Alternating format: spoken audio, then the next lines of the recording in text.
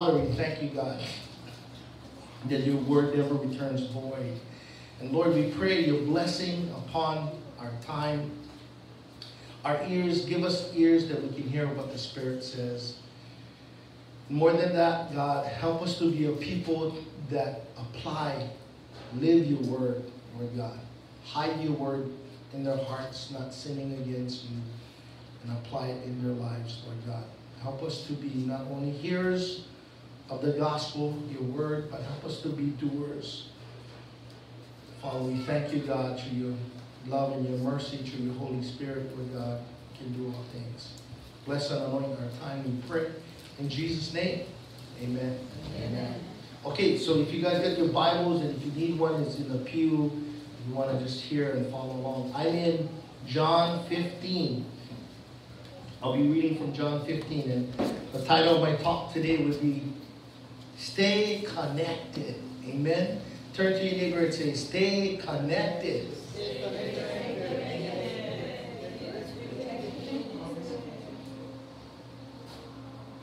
You know, um, I'm, I'm encouraged and I'm blessed as a young, uh, as I see the young people this morning. And like you've heard a few testimonies this morning about um, the seeds that been planted when you're young, that, you know, through the Bible study and through different experience in church, that really played a part of who you are and your understanding of the Lord even today. For many of our uh, uh, older people here, we had some kind of encounter as we were growing up. So it's very essential, amen, that you have these uh, peer-to-peer, you have these Bible talks and, and, and um, just to continue to press towards the mark of the high calling which is in Christ Jesus. When, when you're at the young age, you're scratching your head and trying to figure it out, amen? Um, I too, at a young age, was thinking, man, are you real, Lord? And, and, and I would search. And as you search, his word says, ask, and it, it shall be answered. Knock, and the door shall be opened, right? And so continue to press towards the mark of the high calling. And in that process, you know, uh, I come to this, sharing this morning of staying connected. Amen. From the chapter 15 of the book of John, it reads, I am the vine, I am the true vine, and my Father the vine dresser. Every branch in me that does not bear fruit, he takes away. And every branch that does bear fruit, he prunes, that it may be, bear more fruit. Already, you are clean because of the word that I have spoken to you. Abide in me, and I in you. As the branch cannot bear fruit by itself unless it abides in the vine. Neither can you unless you abide in me. I am the vine, you are the branches. Whoever abides in me and I in him, he it is that bears much fruit. For apart from me, you can do nothing. If anyone does not abide in me, he is thrown away like a branch and withers. The, and the branches are gathered, thrown into the fire, and burned. If you abide in me, and my words abide in you, ask whatever you wish, and it will be done for you.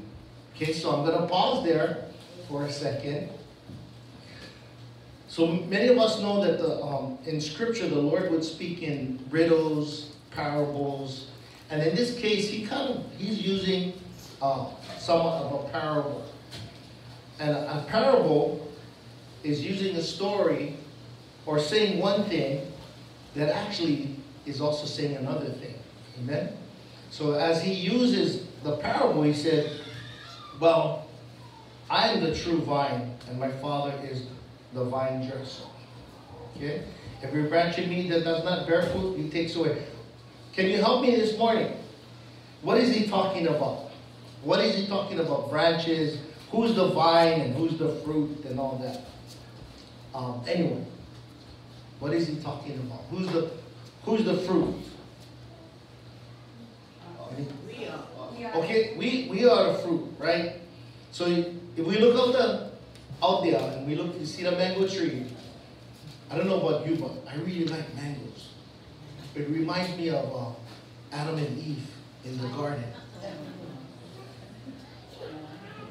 It reminds me of Adam and Eve as I looked at the mango. Yeah, it wasn't an apple that they ate from in the garden. See, you didn't know that. Some of you didn't know that. It was a mango. Because he said, man, go. Right? Okay, hope you use that one. I'm here every Sunday, about 10 o'clock. Come see me. But anyways, no. Again, it, it, you know, just to make it straight, it wasn't an apple nor a mango in Genesis when they got booted. It was the, the tree of, of good and evil, the knowledge of good and evil. So in our Bible stories, we use the apple and it kind of helps us to remember a few things, but it's, it's not specific fruit, just the, the, the knowledge of good and evil. Okay, but anyways, as you look at the tree, right, you look at the mango, you want some good fruit out of the mango tree. You, you know, whatever tree you look at. And, and the story kind of tells us about we too should be good fruit in the Lord. Amen? Amen. Right? Who wants to eat a sour mango, right? You bite into the mango, rotten, right? What are you going to do with the rotten mango? Throw them away, right? And that's what he said. If the fruit not good, or the thing rotten, or the branches not can bear fruit, boom, you break the branch and throw it into the fire. Amen. So the fruit or the vine um, on it is us. Amen. So he's describing that, okay, the, the father is the, the main key, the wine dresser, and, and, and he's the vine. And in the vine, we are all branches of the Lord. Amen. He said, I, I am the branch, and, and, and in me that we we should bear good fruit, or we should fruit, bear fruit. So some of them that don't bear fruit, he said, um, he takes away every branch that does not bear fruit. Um, and he prunes it that that the branch that bear fruit. Amen. I don't know if some of you are gardeners or want to be gardeners, but when you get one tree, sometimes you prune some stuff of the tree so that more fruit can come or different uh, part of the tree. So the Lord says He prunes some stuff so more fruit can, can come. So He said, okay, the ones that no bear fruit, boom, ah, throw that one away, no good. But the one that bear fruit, I will prune. And, and, and that pruning sometimes is the things that happens in our life that needs to uh, bring us closer to the Lord. A lot of stuff that happens in our life that God gotta cut away. Amen. Pruning is what? Cutting away. So some stuff in our life we need to come away so we can bear better fruit or we can be a better product for the Lord. Can you say amen? Hold the ground. Okay. But I'm just saying that every one of us need to be pruned in the Lord so we can have some stuff that we can be closer to the Lord. Now, what going on with you is not necessarily going on with me. The struggles in you and the struggles in me. But the Lord is processing us. Amen? Amen? The Lord is processing the young, the middle aged, and the old. We're all in process.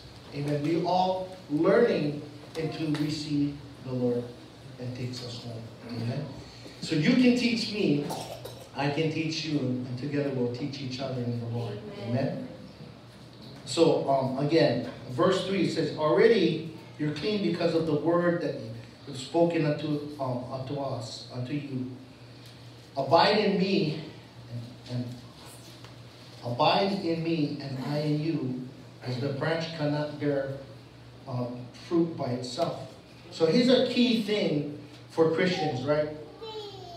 The uh, Christians have to be connected to Christ. Amen.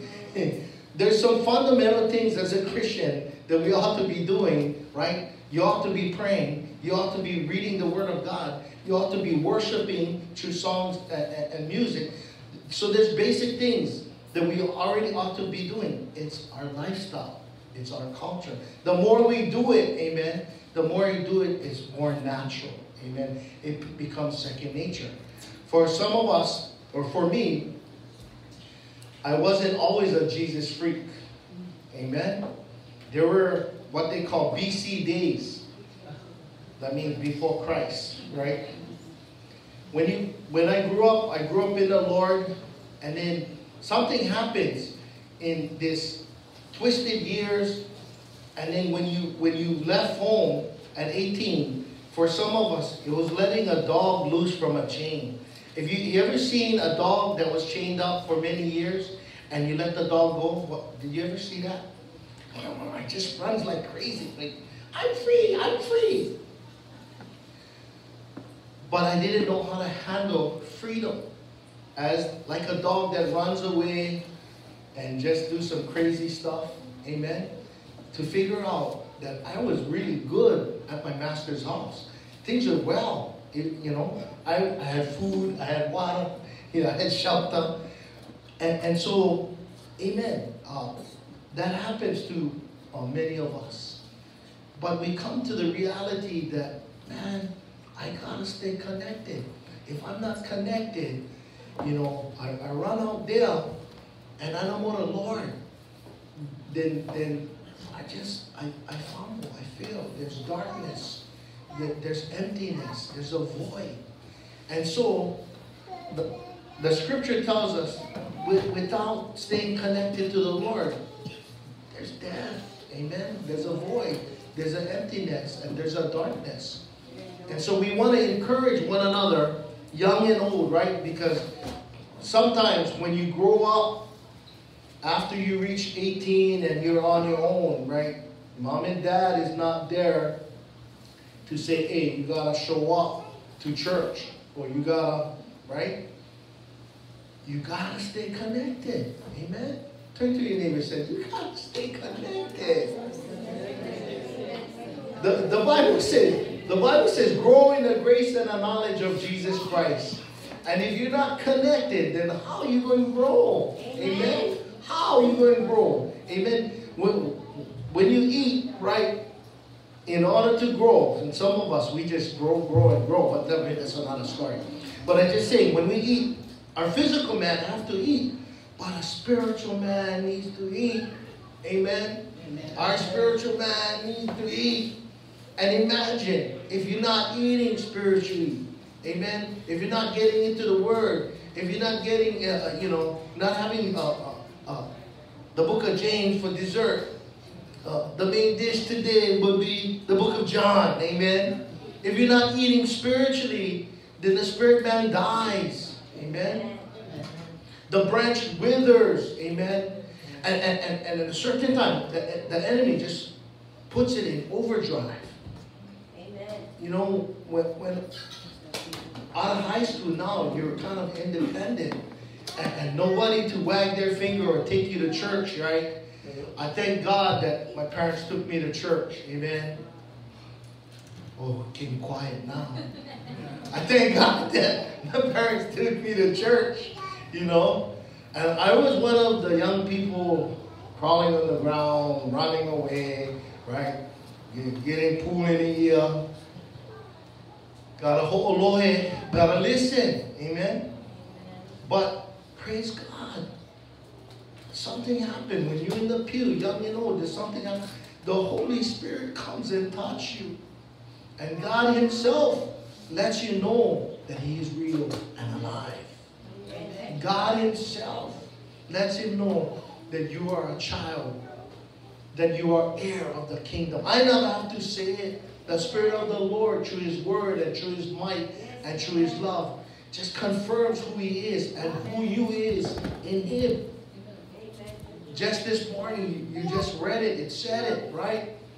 Who, who you are. You are made in His likeness. Made in His image. You want to see God? Look in the mirror. Amen? right? Didn't He say you made in His image? Right? But if you look around, you just see the beauty of creation, and God is into everything. Amen. Amen. And we're not gonna we're not going to worship the creation.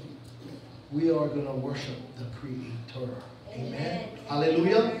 We're not worshiping creation. We are blessed and we understand and we respect and we honor the creation of God. But we are going to worship the Creator. Amen. It's so important to stay connected. Amen. It's so important because when you're not connected, the spirit man dies. And, and it tells us, if you abide in me, I in you, without me, you cannot bear fruit. Amen? You cannot bear good fruit. You got to stay connected in, in, in Him. Okay, as, as we read on, it says this. In verse 5, I am the vine, you are the branches, whoever abides in me, and I in him. It is he bear much fruit. From apart, he cannot, he cannot do nothing. Only zero. If anyone does not abide in me, he's thrown away.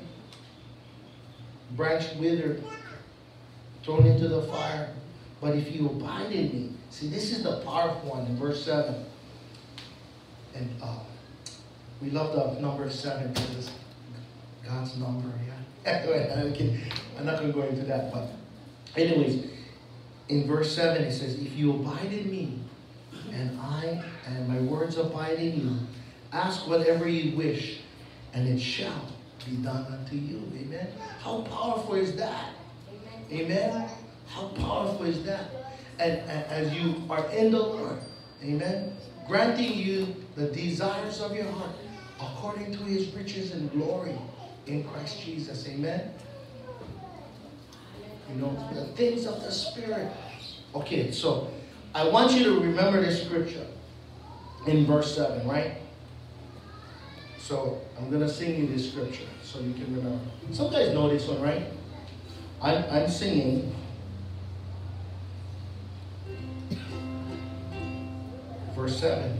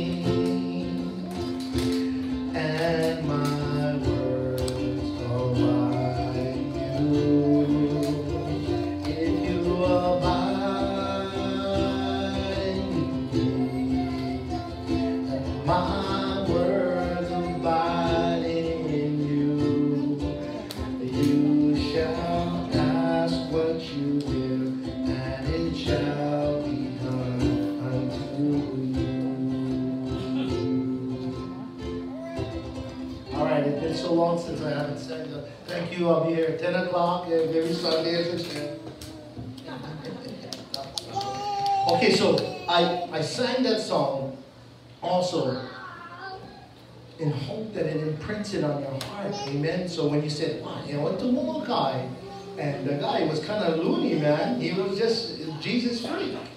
But in his scripture, he signed me the scripture of the Lord. And, and I remember this. If I abide in the Lord, and, and, and I abide in him, abide in his words, and believe in that, then whatever I wish, whatever I hope in him, shall be done unto me. Amen? By this, I'm going to read on, and, and we're going to come close real short. It says in verse 8, By this my Father is glorified, that you bear much fruit. And so prove to be my disciples. As the Father has loved me, so have I loved you. Abide in my love. If you keep my commandments, you will abide in my love. Just as I have kept my Father's commandments and abide in his love. These things I have spoken to you, that my joy may be in you, that your joy may be full. This commandment, that you love one another as I have loved you, greater love has no one than this, that someone lay down his life for a friend. You are my friends. If you do not what I command you, no longer do I call you servants. For the servant does not know what the master is doing, but I have called you friends. For that I have heard from my Father, I have not made known to you. You did not choose me, but I choose you and appointed you that you should go and bear fruit, and that you, your fruit should abide, so that whatever you ask my Father in my name, he may give it to you. These things I command you, so that you will love one another. Amen. I know that's a lot of reading, and so I'm just going to sum it up in a little bit, and we're going to call it quits. As we think who Jesus is, not only our Lord and our Savior, yeah, and uh, I think it's a fun thing that sometimes when I think of the Trinity, or when I think about um, one God and the three personalities and how it's described, one guy described it to me this way, and I kind of like it. It might be different from how people view it, but he described God the Father in a description, God the Son, Jesus, and God the Holy Spirit. But he described God the Father, and I kind of like this, as the hammer or the judge. Amen. If you read, there's many times that in the Old Testament you see glimpse and glimmer of the, the forecoming king, right? In the Old Testament you get glimpse and glimmer of who Jesus is coming. Okay, Jesus comes on the scene during the New Testament, right? But there's glimpse and glimmer of the prophecies of the forthcoming king, which is the Messiah. But in the Old Testament, it's predominant by God the Father. Everybody kind of know him as God the Father. They don't know about the Son yet. They don't know about the Holy Spirit. But God the Father kind of rules at times with a hammer, right? Man, this happened all these guys died. This guy sinned in a camp. All these guys died. You go into battle like that, you hide something, boom, you die too, right? So the, he's like the hammer or the judge. That and and and he's judging um, truthfully and honestly, not people like like people kind of deserve stuff, right? But something he knew that that wasn't his ultimate goal. So when you look at God the Father, I think about God the hammer. but then, as we see glimpse and glimmer of the coming King, God the Messiah, Jesus comes along. And he's, he's the in-between. He's the Savior, right? He's the one that brings us back into righteousness with God. No need to kill the lamb anymore. No need to do all these rituals. No need to go through the priest. You can go direct connect. Lord, you there? I'm here, son. Amen? Direct connect.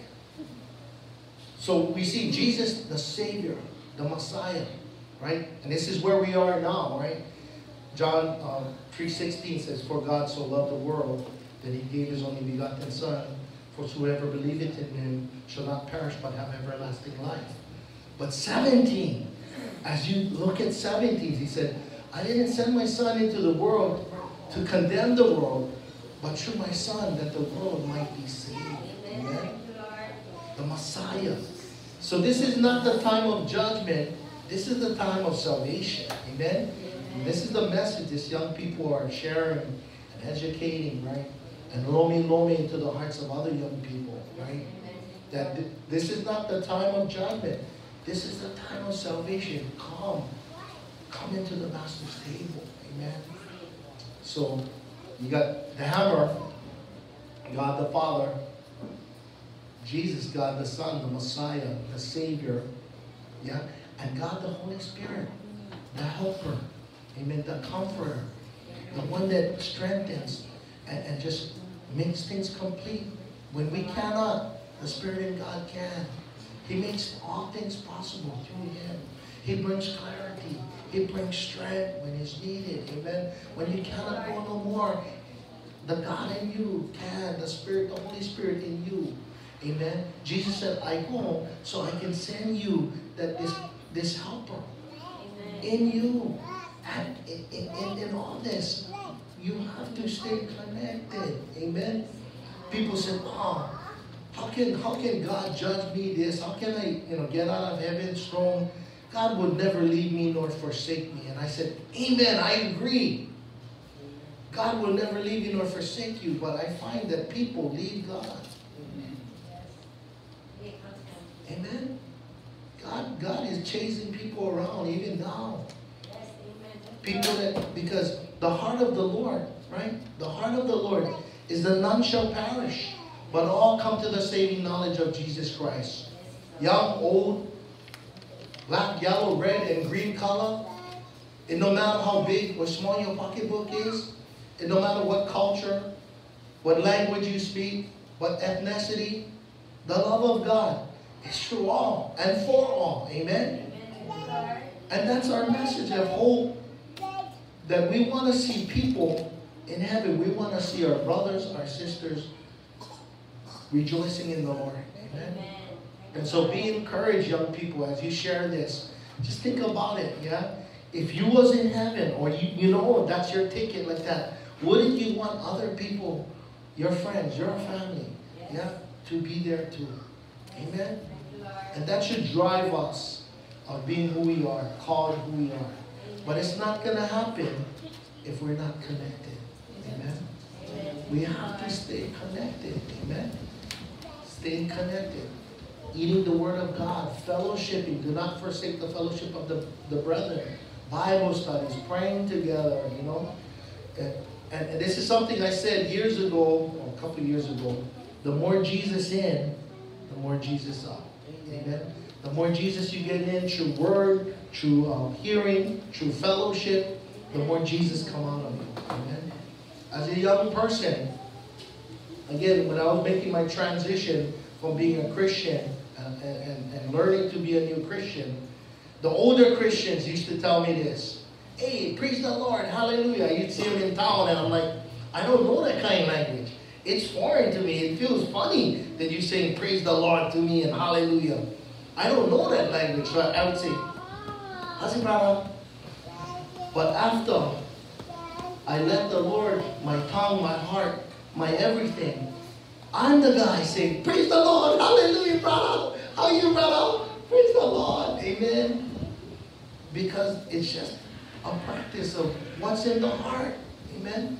Sometimes you gotta lomi lomi that heart, that that heart be after the Lord. Amen. Amen. And you gotta filter some of the junk. Amen. Because there's a lot of junk. Amen. From music, from language, from environment, you know. And, and sometimes you gotta go, oh Lord, help me.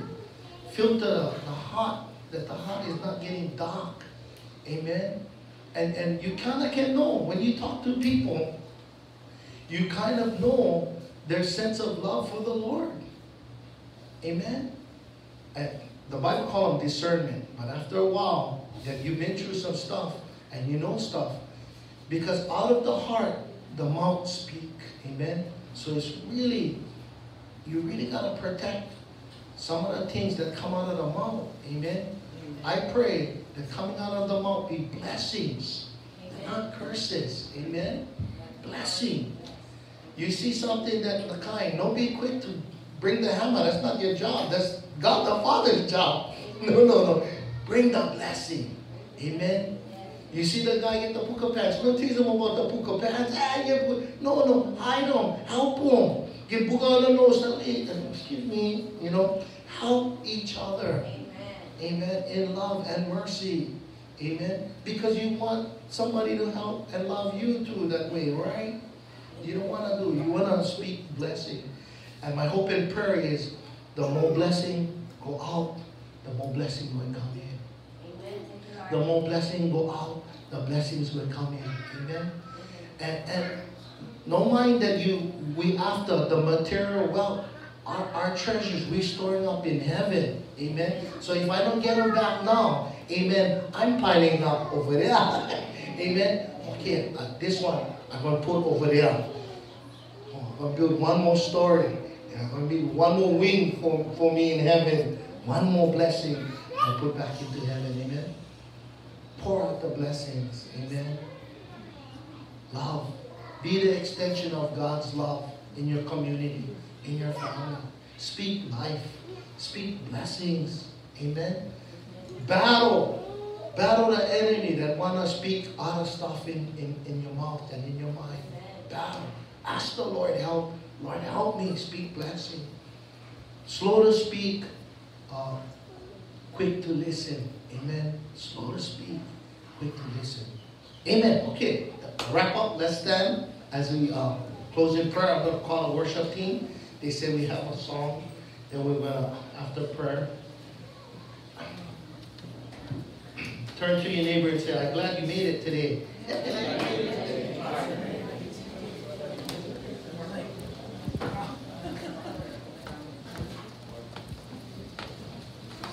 All right, let's pray.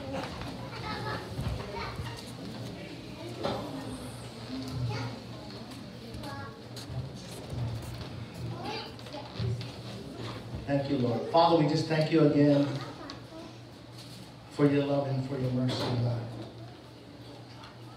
We pray, help us to stay connected, Lord God. Help us to war off the enemy, Lord God. Lomi, lomi our hearts, giving us a heart after you, God. Teach us, Lord God. Give us a new song in our heart, a new language of praise and worship and blessing, God.